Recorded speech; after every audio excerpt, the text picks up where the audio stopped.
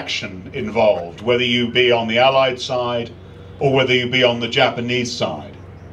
As individual soldiers and officers, not only seeking to prevail in your military mission, but also to survive, and to survive and look after your close comrades. The armed services carry, carry great values with them courage, discipline, respect for others, loyalty, integrity, and selfless commitment. And it is selfless commitment that this Battle of Kohima is so much about.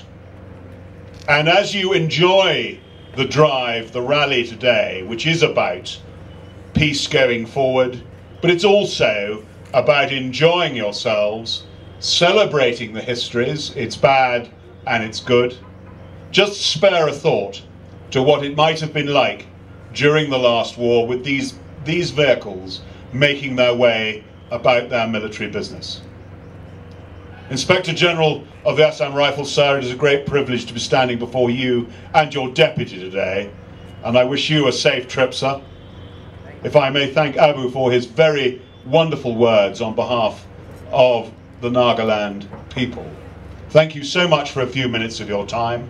I believe it is now appropriate to start the rally by simply inviting you to mount your vehicles and get ready to start your engines.